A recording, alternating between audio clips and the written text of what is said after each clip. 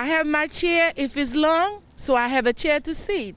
Monday marked day one of early voting in Maryland. So many people work very hard and died to give us the right to vote. So I'm not going to waste that right. I wanted to get here early, make sure I, uh, you know, put my vote in. I'm super excited to be here, and I think it's important to um, have a say in our democracy.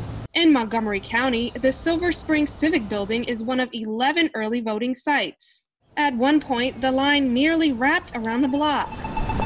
Ladies and gentlemen, thank you for coming out to vote. And it's actually the busiest vote center in the state of Maryland for the last couple of years. So we're very happy that our voters are patient and we have enthusiastic poll workers. I started at uh, 6:45 and just ended one hour and 22 minutes.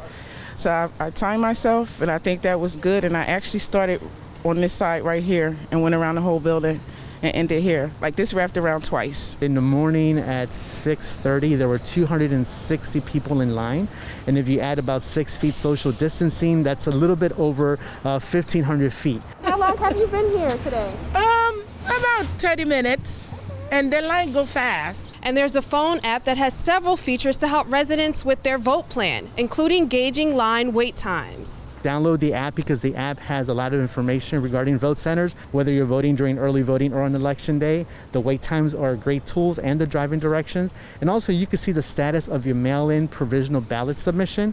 Early voting will run through November 2nd from 7 a.m. to 8 p.m. Today is not the only day. We have eight consecutive days of early voting, and the last opportunity will be on Election Day, November 3rd, where we will have 39 vote centers across the county. Reporting in Silver Spring, Jordan Lindsay for My MC Media.